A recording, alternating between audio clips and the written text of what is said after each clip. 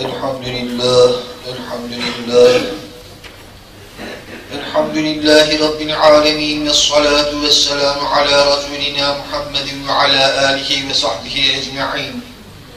ونعوذ بالله من شرور أنفسنا ومن سيئات أعمالنا.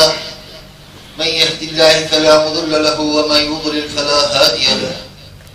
نشهد أن لا إله إلا الله وحده لا شريك له.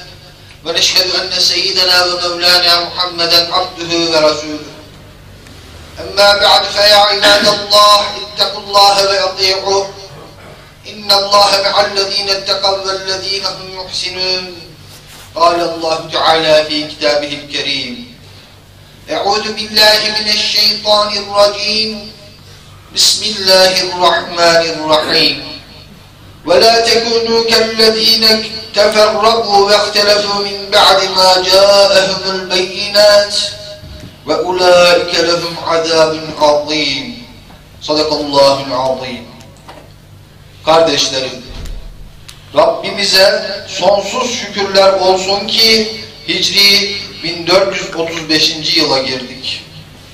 Hicri takvimin ilk ayı olan Muharrem, Efendimiz sallallahu aleyhi ve sellemin hürmete şayan bir ay diye nitelediği sayısız lütuf ve hikmetlerle dolu kutlu bir aydır. Muharrem aynı zamanda hüzün ve ibret ayıdır. Bizlere yüreklerimizi sızlatan Kerbela'yı hatırlatır.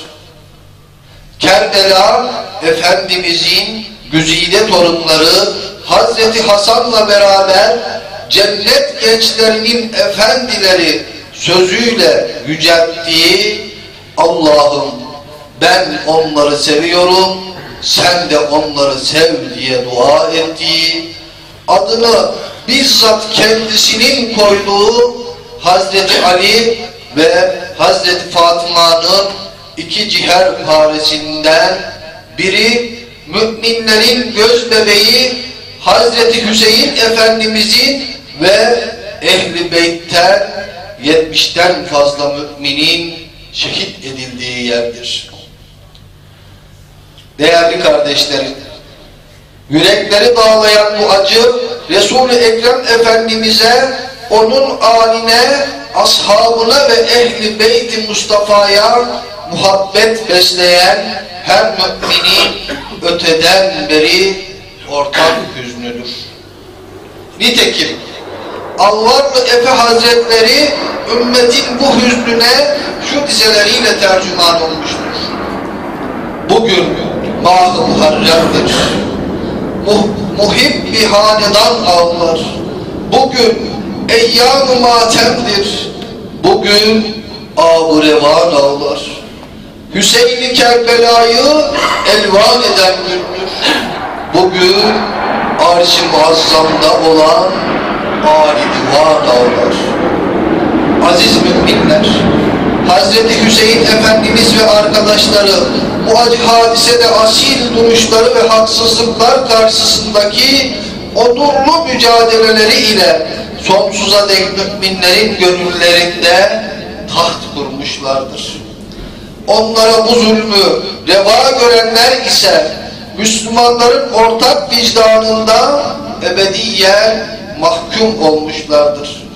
Her şeyden önce Hazreti Hüseyin'i Resulullah Efendimiz sallallahu aleyhi ve sellemin izinde soy, sok, aşiret, asalet, makam kaygısı gütmeksizin giriştiği ve canını feda ettiği mücadelesi hepimize örneklik teşkil etmelidir. Hiç kuşkusuz Hazreti Hüseyin Kerbela'da şehadetiyle zalimlere üstün gelmiştir. Bugün Kerbela olayında Müslümanlar olarak hepimize düşen vazife onu doğru okumak ve doğru anlamaktır. Kerbela'yı anlamanın yolu Hazreti Hüseyin'i doğru anlamak ve Hüseyince yaşamaktır. Bugün bize düşen böylesi müessif bir hadiseyi kim, nefret, ayrılık gayrılığa değil, birlik, beraberlik, sevgi, saygı, muhabbet ve hoşgörüye dönüştürmektir. Zira Kerbela üzerinden bir ayrılık gayrılık oluşturmak müminler topluluğuna asla yakışmaz. Ancak üzülerek şahit oluyoruz ki son yıllarda yaşanan olaylar mezhebi, meşrebi ne olursa olsun İslam toplumunun Kerbela'yı Hazreti Hüseyin ve arkadaşlarını hala doğru okumadığını, doğru anlamadığını ortaya koyuyor. Onun içindir ki bugün etrafımızda nice Kerbelalar yaşamıyor. Bağdat'tan, Şam'dan, Kahire'den, İslamabad'dan ateşler her gün yükseliyor. Sadece Irak'ta ayda ortalama bin insan can veriyor. Şam'da yüz binin üzerinde insan hayatını kaybetti. Milyonlarca insan yerinden, yurdundan, evinden, markından oldu. Çocuklar umutlarını, hayallerini, geleceklerini yitirdi. Kardeşlerim, yeni Kerbela, Kerbelaların yaşanmaması için ortak bir dile ihtiyacımız var. Yüreklerimizi birleştirmeye, gönül kapılarımızı birbirimize açmaya ihtiyacımız var. İşte bu yüzden Muharrem bizim için ortak bir hüzün mevsimi olduğu kadar adaleti, hikmeti, merhameti, kardeşliği, dostluğu hatırlatan ibret sofrası da olmalıdır. Muharrem'i Müslümanların kardeşlik ve beraberlik şuurlarının güçlenmesi için fırsat bilmeliyiz. Geçmişin acılarını bize yeniden yaşatmak, gönüllerde kapanmaz yaralar açmak, ortak değerlerimizi ayrılığa, kin ve nefrete dönüştürmek isteyenlere tek yürek halinde gereken cevabı vermeliyiz. Böylece Yüce Rabbimizin hutbemin başında okuduğu kendilerine apaçık deliller geldikten sonra parçalanıp ayrılığa düşenler gibi olmayın. Emrine uygun hareket etmenin hazzını ve kazanımlarını hep birlikte müşahede ederiz.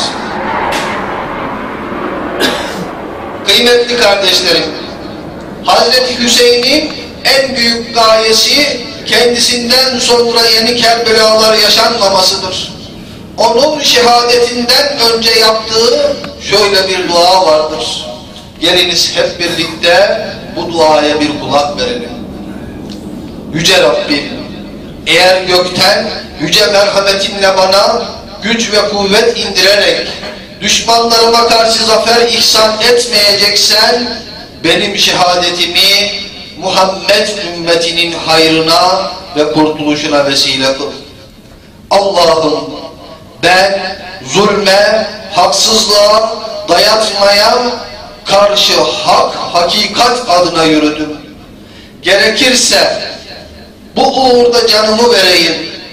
Rabbim eğer galip gelemeyeceksem, sırtım yere düşecekse, hak dava uğruna akan kanımı bir hayrın, Müslümanların silkinişinin ve güçlenmesinin sebebi kıl. Bu vesileyle sevgili Peygamberimiz sallallahu aleyhi ve sellemin torunu, cennet gençlerinin efendisi, şehitlerin serdarı, serçeşmesi Hazreti Hüseyin Efendimiz ve Kerbela şehitlere başta olmak üzere hak için, hakikat için, hürriyet için, adalet için, ahlak, erdem ve fazilet için, izzet ve şeref için can veren bütün şehitlerimizi rahmet, minnet, şükran, saygı ve tazim ile yad ediyorum. Fekale aleyhissalatu vesselam Ettaibu minel zembi kemen la zembeleh Estağfirullahel azim ve etûbü ileyh ve es'elullâhe li ve lekumut tevfîk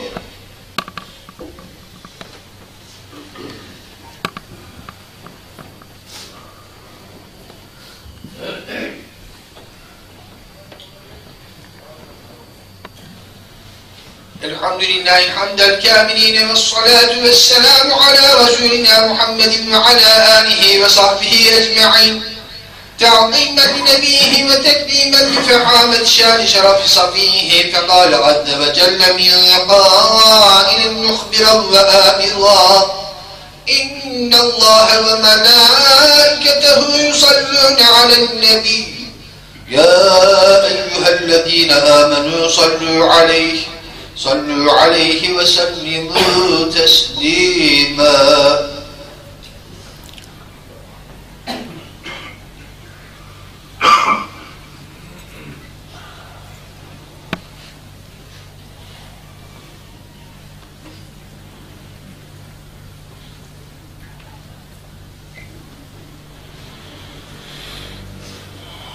Allah'ım İslam'a ve Müslümanlara yardım et. Devletimizi, ülkemizi, milletimizi her türlü tehlikeden koru. Bizlere bu dünyada ve ahirette güzellik ve nimetler ihsan eyle. Bizleri, anamızı, babamızı ve bütün müminlere bağışla. Şüphesiz sen dualarımızı işitir ve kabul edersin. إن الله يأمر بالعدل والإحسان وإيتاء ذي القربى وينهى عن الفحشاء والمنكر والبغي يعظكم لعلكم تذكرون Şüphesiz Allah adaleti, iyiliği, yakınlara bakmayı emrediyor. Hayasızlığı, fenalığı, her türlü kötülüğü ve çirkinliği yasaklıyor. Tutmamız için bizlere öğüt veriyor. Allah